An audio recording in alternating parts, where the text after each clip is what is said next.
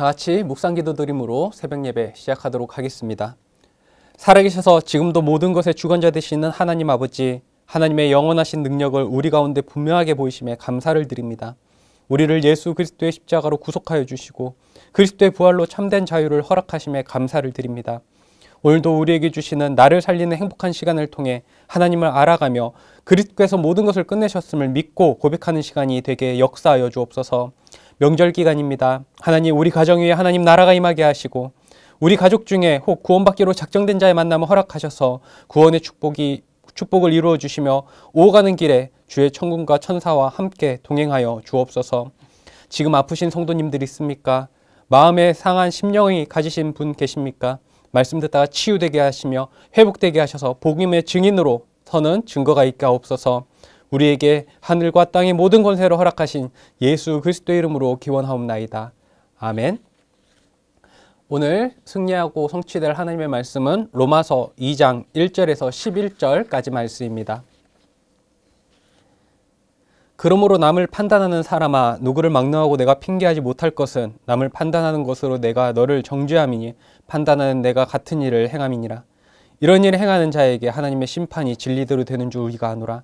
이런 일을 행하는 자를 판단하고도 같은 일을 행하는 사람아 내가 하나님의 심판을 피할 줄로 생각하느냐?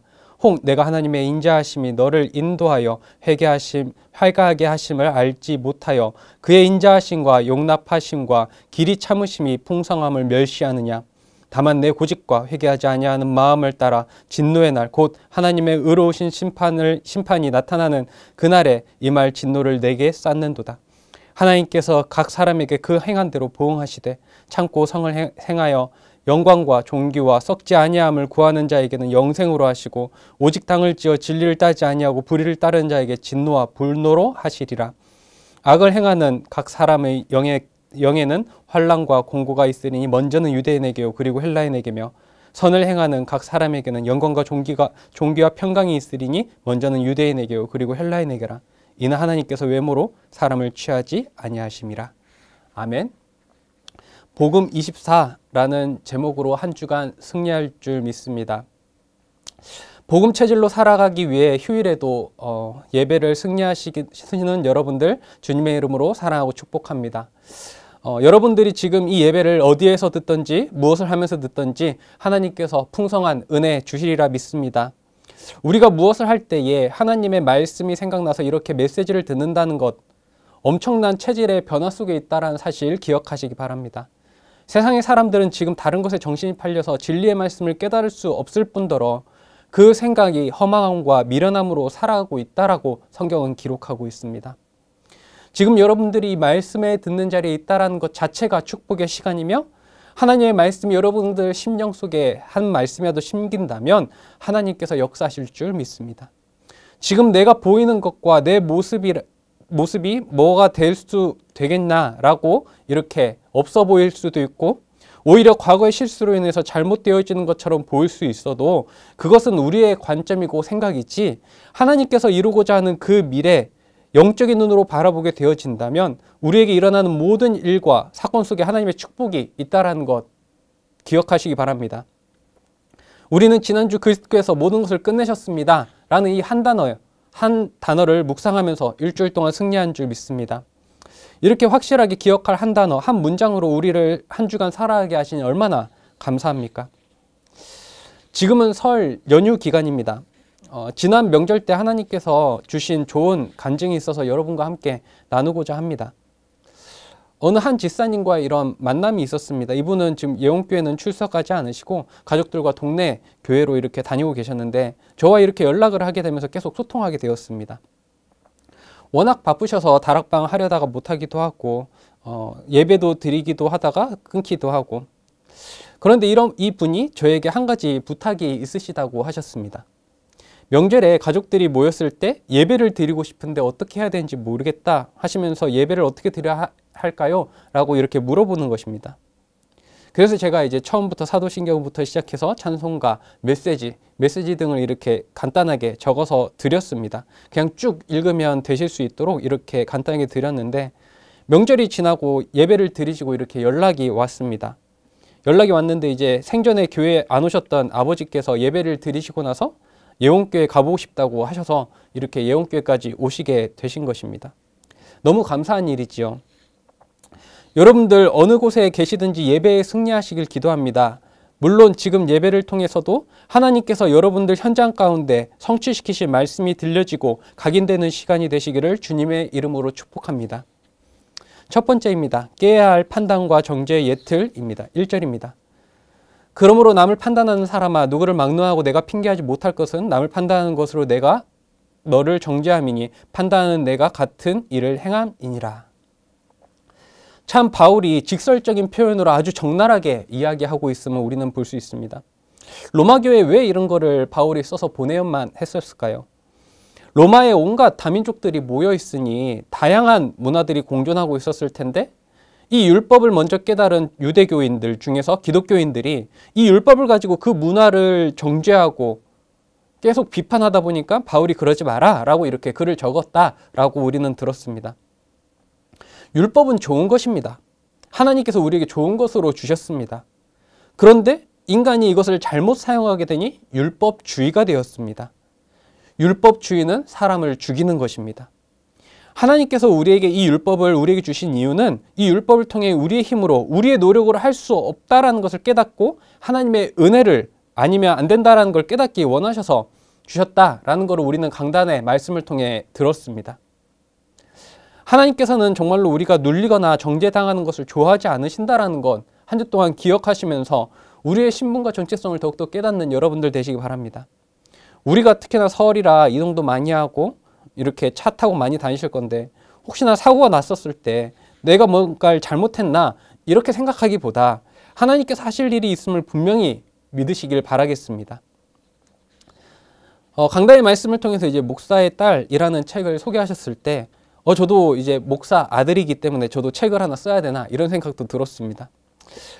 복음으로 완전 답을 내기 전까지 이 목사의 아들이라는 타이틀이 얼마나 눌림 속에 있었는지 모릅니다. 목사의 아들이라는 이유만으로 많은 부분들이 제약에 걸려 있었고 목사가 얼마나 힘든 것인가를 바로 옆에서 보다 보니 아 그래서 목사는 정말 힘들고 어렵구나 이렇게 되면 안 되겠다라는 저였는데 어느덧 제가 이 목사의 자리에 서서 이 자리에 있습니다.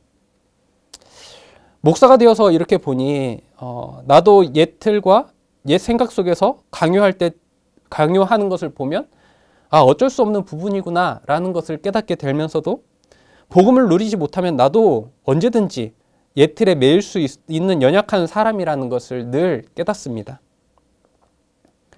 정말로 이 복음의 힘이라는 것이 얼마나 위대한지요. 이 복음의 힘을 더욱더 누리는 여러분들 되시기를 주님의 이름으로 축복합니다. 지난주 로마서 1장 말씀이 이제 끝났잖아요. 그래서 제가 사역하는 교구에서 이제 로마서 1장 이렇게 전체를 성도님들 같이 이렇게 읽으면서 새해부터 우리에게 어떤 말씀이 이렇게 주셨는지 확인을 했던 시간이 있었습니다. 그러면서 찬송 예배 시작하기 전에 예, 이제 말씀 보기 전에 찬송가 310장을 이렇게 찬양하면서 아 하나님의 은혜로 이 쓸데없는 자 왜 구속하여 주는지 알 수 없도다. 이 구속이라는 단어 그리고 지난주에 저희가 육이라는 단어 이렇게 듣지 않았습니까? 참 나를 구속하여 주신 것이 너무 감사하다. 우리가 구속이라는 것을 잘못 이해하게 되면 묶여 있는 것 같고 속박당하는 것처럼 느낄 수 있겠지만 하나님의 말씀 로마서를 이렇게 읽으면서 우리를 어디서부터 구원하셨고 구속하셨는지 깨닫는다면 이 구속이 얼마나 감사한지 다시금 느낄 수 있을 것입니다. 로마서 1장 28절에 또한 그들이 마음에 하나님 두기를 싫어함에 하나님께서 그들을 그 상실한 마음대로 내버려 두셨다. 유기하셨다. 그리고 합당하지 못한 일을 행하게 하셨는데 그 일이 무엇이냐면 불의, 추악, 탐욕, 악의가 가득한 자요. 시기, 살인, 분쟁, 사기, 악독이 가득한 자요. 수근수근하는 자요. 비방하는 자요. 하나님께서 미워하시는 자요. 능욕하는 자요. 교만한 자로 자양하는 자요. 악을 도모하는 자요. 부모를 거역하는 자요. 우매한 자요. 배약하는 자요, 무정한 자요, 무자비한 자라 라는 이 말씀을 읽을 때 참 하나님께서 나를 이러한 하나님을 몰랐으면 예수 그리스도를 믿지 않았으면 내가 이 가운데 있었을 것인데 하나님께서 나를 찾아와 주셔서 이 복음 깨닫게 하시고 예수가 그리스도이심을 깨달은 것뿐 밖에 없는데 이 가운데서 나를 구원해 주셨구나. 참 놀랍지 않습니까? 이 성경이라는 글이 2000년 전, 거의 2000년이 가까운 시간 전에 쓰여진 글입니다. 2000년이라는 시간 속에서 얼마나 많은 문화의 발전과 과학 문명의 발달이 있었습니까? 사람들이 살기는 너무 좋아졌다고 하지만 인간들의 상태는 똑같구나. 우리가 몇십 년 전에 이런 패션과 문화들이 문화들을 이렇게 TV에서 보더라도 얼마나 촌스러운지 깨닫잖아요. 그런데 2000년이라는 시간이 지나도 이 예틀이라는 것, 창세기 3장, 6장, 11장의 모습은 똑같이 인간에게 나타나고 있구나. 그 생각이 허망하여져서 스스로 지혜 있다 하나 어리석게 되어 하나님의 영광을 사랑과 동물의 모양, 우상으로 바꾸질 않나. 지금도 똑같은 불상, 엄청난 크기의 불상을 만들면 거기에 가서 절하고 섬기는 이 우매함. 돈이 전부인 줄 알고 성공을 쫓아 남이 어떻게 되든 상관없이 내 거에만 집착하는 무정하고 무자비한 사람들의 모습을 성경은 어떻게 이렇게 잘 표현하고 있는지요. 지난 화요 집회 때도 유 목사님께서 창세기 3장을 발견하시면서도 나에게도 이런 모습들이 있다라는 걸 이렇게 말씀하시는데 저 전도자도 저렇게 예틀을 깨시려고 하는데 하물며 나는 조금 복음을 알고 있다고 해서 이 상태로 있어야 되는가? 라는 엄청난 도전의 시간들이 있었습니다. 참, 류목사님도 얼마나 복음을 누리시고 24시 속에 계신 분인데, 문득 문득 본인의 그런 모습들을 고백하시면서, 아, 나도 정말로 이 모습을 더 깨야 되는구나. 하물며 정말로 우리 자신이 이 복음 속에 있다는 게 얼마나 감사한가를 다시금 느낄 수 있는 시간이었고요. 하나님의 말씀이 그냥 읽혀지는 것이 아니라 나에게 꽂히는 시간 되시기를 주님의 이름으로 축복합니다. 종교개혁했던 루터도 성경을 많이 봤을 거예요. 그런데 종교개혁 당시에 그 루터에게 꽂혔던 그 말씀이 하나님께서 역사하신 것처럼 정말 이 시간에도 동일한 은혜가 있으시기를 주님의 이름으로 축복합니다. 두 번째입니다. 갖추어야 할 복음의 세틀입니다. 2절 3절입니다. 이런 일을 행하는 자에게 하나님의 심판이 진리대로 되는 줄 우리가 아노라. 이런 일을 행하는 자를 판단하고도 같은 일을 행하는 사람아 내가 하나님의 심판을 피할 줄로 생각하느냐. 우리가 복음을 깨닫고 믿는다면 하나님께서 원하시는 것이 무엇이고 우리를 갱신하며 나아가는 것이 얼마나 축복인가를 여러분 이 시간 깨달을 수 있길 바랍니다. 세상의 기준으로 살아가는 것이 아니라 하나님의 생명의 말씀이 나의 기준이 되어 살아가고 있는 삶이 축복된 삶이라는 것입니다.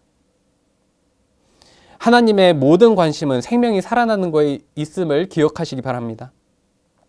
나에게 오는 문제를 문제가 아니라 하나님의 축복을 누릴 시간표로 깨닫는 여러분들이 되시기를 주님의 이름으로 축복합니다. 올 초에 저희 교구, 교구에 어떤 한 분이 작년이죠. 작년에 어떤 분이 조금 이렇게 정신적인 어, 문제가 오셨다고 합니다. 공황장애라고 이야기를 하더라고요. 연세가 많으셔서 어찌할 바를 알지 못했다고 합니다. 그런데 복음에 집중하고 예배를 승리하시다 보니 치유되어져 갖고 지금은 더 힘있게 복음을 증거하실 수 있는 신앙생활로 하신다 하셨습니다. 우리에게 문제 올 수 있습니다. 하지만 우리는 그 문제를 축복의 발판으로 삼을 것입니다. 6절에서 8절까지 말씀입니다. 하나님께서 각 사람에게 그 행한 대로 보응하시되 참고 성을 행하여 영광과 종교와 썩지 아니함을 구하는 자에게는 영생으로 하시고 오직 당을 지어 진리를 따르지 아니하고 불의를 따른 자에게는 진노와 분노로 하시리라. 예틀에 갇힌 삶과 복음으로 세트를 갖춘 삶의 결과에 있어서 오늘 성경은 분명하게 이야기하고 있습니다. 우리는 끝을 아는 사람들입니다. 우리의 끝은 영생의 축복 속으로 들어가고 있음을 믿고 기쁜 신앙생활하는 여러분들 되시길 주님의 이름을 축복합니다. 지금에, 지금에 일어나고 있는 문제에 초점을 맞추는 것이 아니라 우리에게 올 소망을 기대한다면 우리는 인내할 수 있습니다.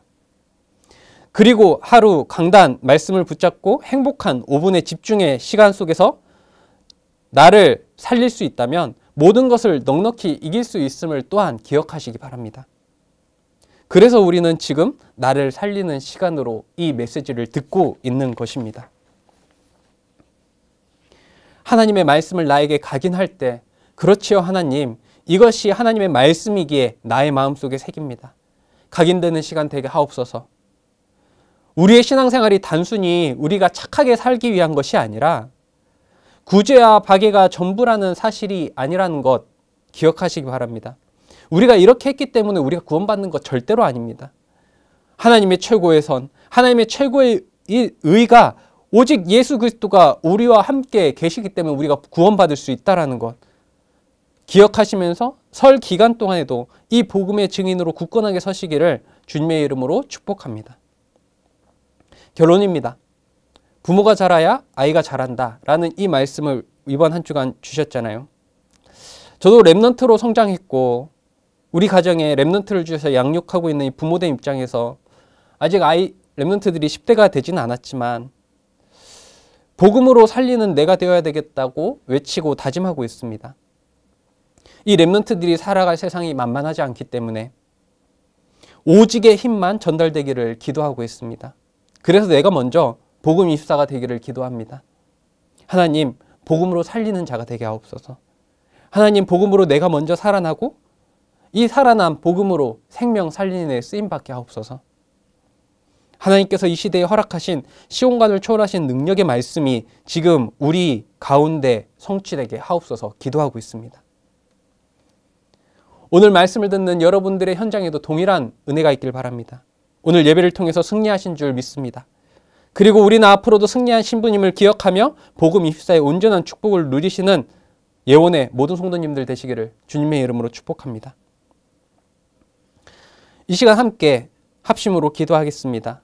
말씀을 붙잡고 기도할 때 하나님 깨어야 할 판단의 정죄 예틀이 보여지는 시간 대가 하여 주옵시고 그래서 말씀을 붙잡고 복음의 세트를 갖추어 언약적 도전을 하게 하옵소서. 그리고 아직 복음화되지 않는 가정이 있다면 가문 복음화를 위해 그리고 몸 몸이 아프신 성도님을 위해 이 시간 다 같이 중보로 기도하도록 하겠습니다.